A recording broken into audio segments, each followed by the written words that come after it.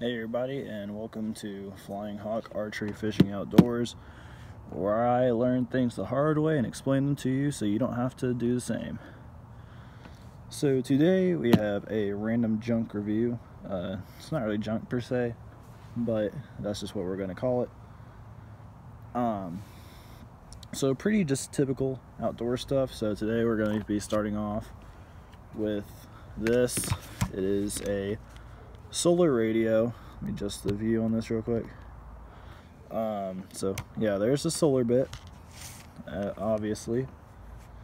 Here is the antenna that you can pull out and should extend to where there's a little joint right there. Crap. Yeah. I'm your host, Uncoordinated Weirdo. Okay. So, Here's a little switch where you can switch between, I guess that's weather, FM, and AM. Uh, here's the part where you can switch between AAA and lithium ion. Um, if you go to here, this is just normal. This is to charge your phone, and this is a nifty little feature where if you're lost and nearly screwed in the woods, you get the idea. So it also comes with two flashlights, this main one right here,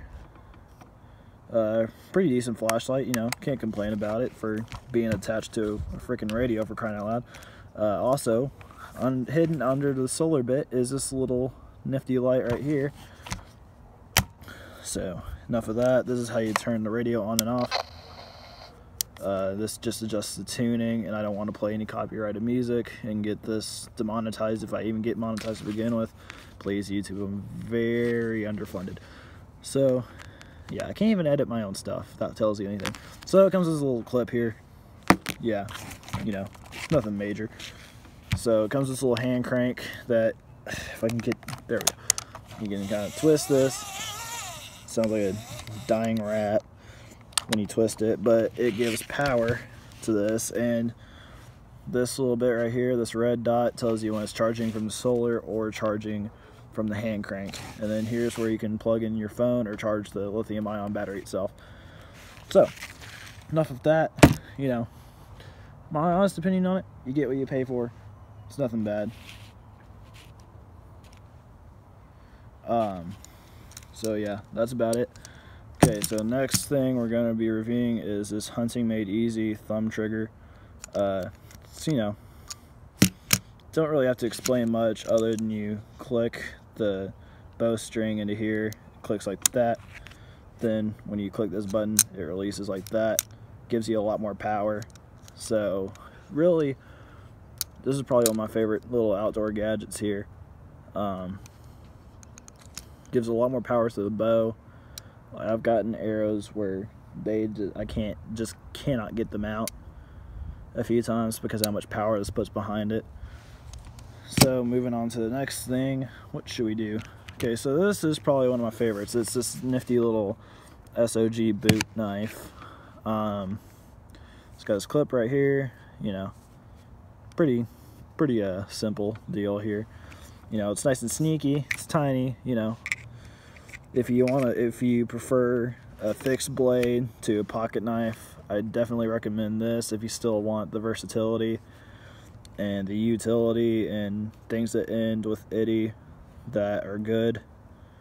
Because you know on this channel the line between satire and actual reviews is very thin to the point where you cannot tell if it is a legit review or satire. So anyway can't complain about this. Nice and sneaky. Uh, really good thing to have you know. Honestly my main rule for being outside is don't go anywhere without a, some sort of blade and a lighter. Because you know you start out with a blade and a lighter you'll be fine if you know what you're doing. So next thing because I mentioned having a blade and a lighter Zippo. You know typical stainless steel Zippo here. Click it. Click it. Come on. Okay stupid thing. Uh, click it and it lights you know can't complain. Uh, just plain stainless steel, no design or anything. I like keeping it kind of simple. Uh, this is actually the same model that my Grampy had. So I think that's pretty neat in itself. Uh, here's a little stuff on the bottom. Made in America. That's a darn good thing these days. So, you know, there's not much you can review about a lighter. Uh, one complaint that I have is that it takes a lot to light and it doesn't come pre-filled. So definitely if you do buy this, which I bought it at Meijer for $10, um, definitely get some Zippo fluid while you're at it. So also I forgot to tell what the prices were for the other three things. Crap. So I'll get to that in a minute. We'll do that at the end of the video. So this is a snake bite kit. I got this at Academy. So, you know, it's got these things. Basically what it does is it kind of sucks the venom out. If you open it, because it's like, it's cold out here, okay, and things shrink when it's cold. So it comes with like a whole bunch of stuff to prevent a snake bite, which I'm not going to get it all out because I actually might need this, especially during the summer here in Kentucky. Snakes everywhere. Can't be too careful. So, on that note, speaking of venom and stuff like that, Benadryl Itch Relief Stick. Uh, this is probably a really good thing to have. Uh, I kind of just got this impulse buy, but I have a feeling it'll pay off eventually. Basically, what you do is just unscrew the cap, press the uh, stuff on here, or whatever it is, I don't know, some sort of medicine, and it makes it quit itching and probably gets rid of the infection. I'm not sure. Wouldn't count on it, so definitely give it more care than just rubbing this junk all over it. Moving on, we have this camo face paint wheel. Uh, comes with a locking cap. You know, pretty simple. Uh, good for, you know, keeping in a bug out bag. It's fairly compact. Uh, really nothing to complain about other than it's made with a whole bunch of crap you can't pronounce unless you're a chemist. But uh, it's also made in China. That's not too fun. So, yeah, you know, can't complain about it. I've only used it once or twice just to joke around with. I'm actually working on getting a hunting license right now, believe it or not. You may not know from my voice, but I'm only 16. So that makes things a little rough, you know. I'm kind of a suburban redneck at this point. So moving on, we have this engineer compass. Actually got this a few years ago, so I won't be able to give too many details on it because I can't remember. You know, typical compass. You know, nothing much to be said for it. Points north. You know, you get the picture. Okay, so moving on to the last thing, and this is a hand chainsaw. Okay, it comes pre-oiled, which is good. Good to keep a bit of WD-40 on hand in case it gets stuck or something, but you know, I've used this a couple of times already. It it's a pretty decent little handsaw. You know, you can't really complain about it. It doesn't cut quickly because it's not a gas powered chainsaw. It's a hand chainsaw. It'll only go as fast as your hands go. So, on that note, nothing to complain about really, because you get what you pay for and you get the use out of it that you need. So, yeah. Okay, time to move on to the prices. This was $30 on Amazon. You know, get what you pay for again this little boot knife here.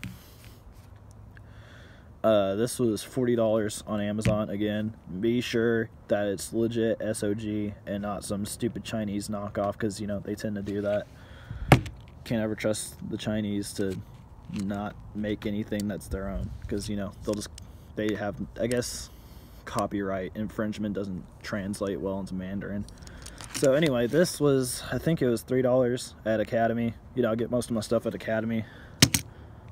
Uh, this, Kroger, you know, $3. It was in the clearance rack. I don't know where else you could really find it. Uh, this, $12.99. You know, a little pricey, not too bad. Uh, you know, nothing to complain about. The Zippo here, $9.99, not counting the fluid. The fluid's about $1.79 per bottle. So, you know, little nifty thing to have, you know. Can't ever be too careful. Sorry my voice keeps drifting off. I have some really nosy neighbors, and it's hard to do these reviews or to have a YouTube channel at all because there's always people listening, and I feel cringe having a YouTube channel. So, YouTube, please monetize me. I'm very underfunded. So, anyway, uh, we got about 20 seconds to the 10 minute mark to get monetized. So we're just gonna wait that out. So let's, oh, I forgot to talk about this. This, yeah, yeah, yeah. Okay, so this right here, like I said, lockable cap, it was, I think, $5 at Walmart. like I said, I don't really get much at Walmart because you know that's Walmart's a little too rednecky for me.